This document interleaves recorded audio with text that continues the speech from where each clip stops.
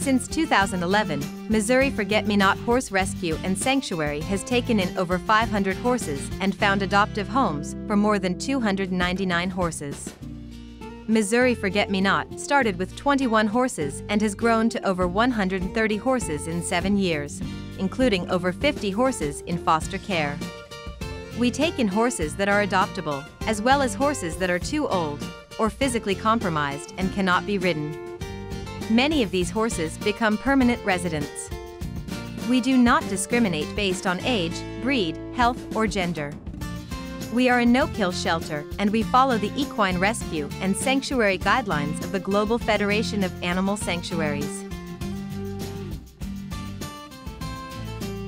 Our mission is to provide aid and sanctuary to abused, neglected, abandoned, or surrendered horses that come to us.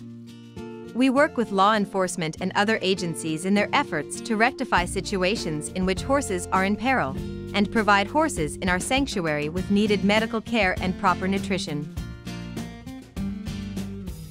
We continue educational and fundraising efforts to both help us support our rescue efforts and to promote awareness of issues involving neglect and abuse in our area.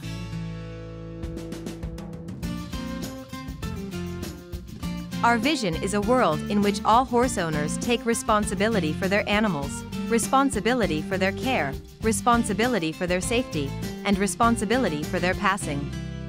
Our vision is to do more than care for horses that are suffering. Our vision is to break the cycle of abuse and neglect.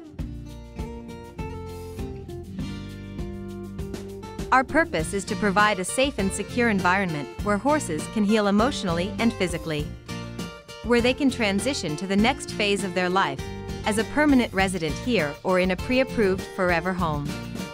To provide a forever home to elderly or handicapped horses where they can live and die with dignity.